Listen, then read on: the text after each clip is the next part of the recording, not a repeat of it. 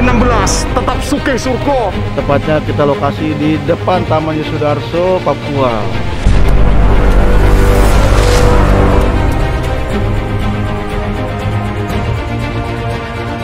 Kita mau traveling balap-balapan motor. Jere dikejar-kejar sama anak buah Hendrawan di kota Jayapura. Jadi hari ini kita ada adegan kejar-kejaran, semoga tidak ada yang kecelakaan. Amin.